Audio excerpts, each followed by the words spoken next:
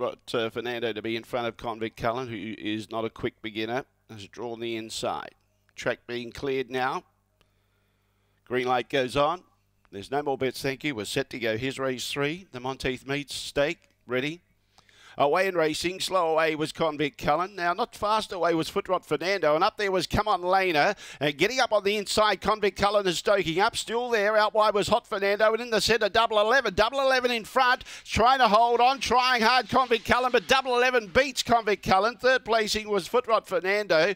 Uh, then he turned behind those Come On Lena, who got a little bit tired, and we had uh, pulling up quickly. Was it uh, at the tail end of the field? Was Hillbilly. J. 1709, blowout result, double 11. He's run some nice races here on different occasions, has broken the 17 seconds before, didn't have to today.